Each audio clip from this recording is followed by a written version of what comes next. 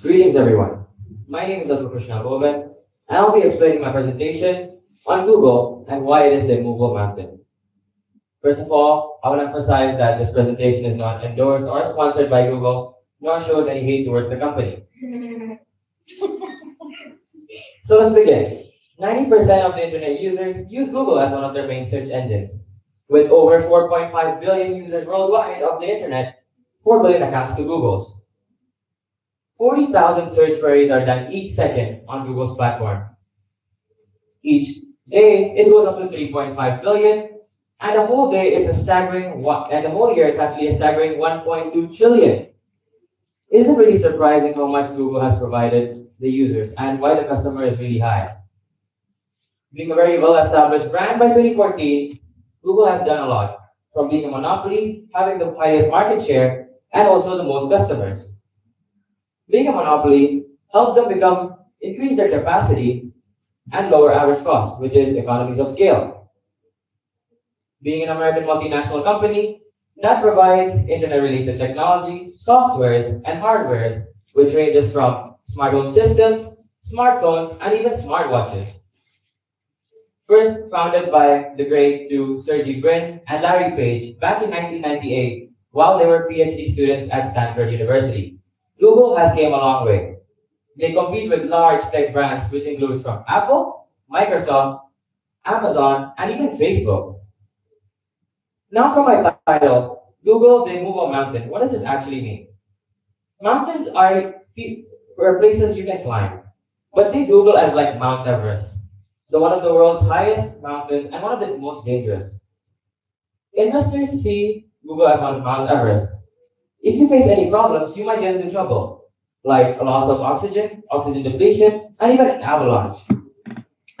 When investors see Google's success, they want to invest more and more. They invest millions and billions of dollars to ensure they can improve as well.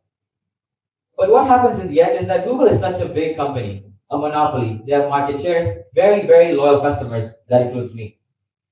And what happens in the end is that they become bankrupt. No more money in the bank. After the introduction of Industry 4.0, which just started this decade, which mainly relates to artificial intelligence, machine learning, and robotics, companies and other big, large tech companies started to invest a lot of money in this. They improved their research and development team, and also this main function of getting into Industry 4.0. Why do they do this? It's to be with the trend and follow what customers want. Google is a user-friendly company and they want to make sure that they follow them. One such acquisition Google had is of DeepMind, a company founded back in 2010 and acquired by Google for 600 million in 2014. So what does DeepMind do?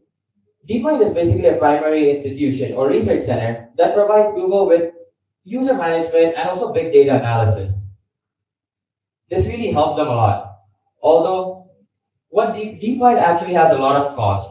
They lose millions and billions of dollars because it's just a research organization, not direct profit center. So what Google do is produce other items, like do online advertisements, and also hardwares like smart home systems, and also mobile phones. DeepMind is used in our daily lives actually on your Android mobile phone platform. And I'll just show you right here in Google Assistant.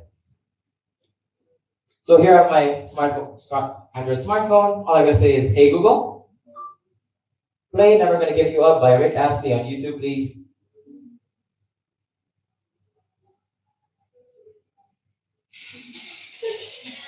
So this is one way Google works. This is a YouTube video, but it can do other work with it like normal search queries. DeepMind is a technology that keeps on evolving and learning. And that's what machine learning is all about.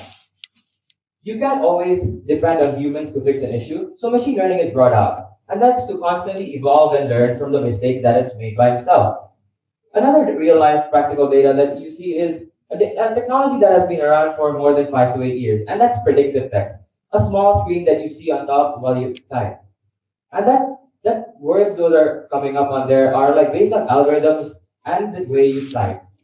It, although it's not 100% reliable and might never be unless you insert a chip in your brain to calculate what's going to happen. So relating back to our title, Google, the immovable mountain, It's basically a harsh environment. As you know, mountains are pretty harsh and dangerous. So you might ask me, is Google dangerous? I have mixed feelings about this. Google helps me a lot, especially through this COVID time. I can study online courses and also attend classes through Google services and get reliable information. But Google has a lot of fraudulent and explicit content on there. And Google's own frank assessment of itself showed that. They have a lot of millions and billions of websites that are available on the internet. Google is trying to reduce this explicit and unwanted data. But what happens in the end is that there are more and more websites just exponentially increasing. It's so hard to counterattack them. What Google brought out is two options. The safe search option and the filter explicit results con content option. It really helped out. Google also made sure that they do not sell any of their customer information to third parties, which help people become more trustworthy to Google. But that's not really right. Google is always hearing you. And one way is which the Google Assistant works, as I have to just say, hey Google. They're really waiting for this prompt and it's silently listening to us. You might be quarreling with your parents, gossiping about a teacher in class, and or another friend. and this might actually, Google is actually listening to you. That's isn't it scary that a company is actually hearing you? Another tech CEO, Elon Musk, expressed his feelings on it. He said that DeepMind is really essential for Google, especially the data centers when they interconnect them. You know, data centers are places where our information gets stored, and also they provide and produce a lot of harmful gases and pollution. With DeepMind, this actually being reduced and optimized. But is connecting AI and machine learning to our personal data really important? That's what he asked. And this could actually become an unintentional Trojan horse, and that's what we want. If AI knows what you're going to do, it can predict what you will be doing and what you're doing, and we don't want that. What if AI literally knows you're going to go to the mall in a month, or like going to another city in a month? We don't want that. So with AI, he also stressed out that if AI literally tracks and its main goal is to destroy humanity. And if we stand in the way, it could actually result into it.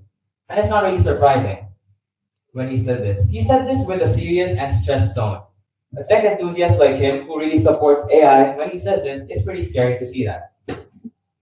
So to conclude, artificial intelligence and Google is really interconnected. Google is quite an immobile mountain. It literally knows what we can do using its AI and machine learning features. But if AI stands in the way of us and tries to destroy humanity, that's something that's really dangerous. And we don't want that to happen, right? So what companies and Google needs to do is that they need to ensure they have enough time, resources, and fundings to stop AI at any moment. With this, AI has also many benefits. Like what I said, it can help you go find some reliable information. But we don't want AI to take over us. And hopefully, one day AI will not take over us as this industries keep on booming. And hopefully, no AI will not take over your lives. Thank you for listening.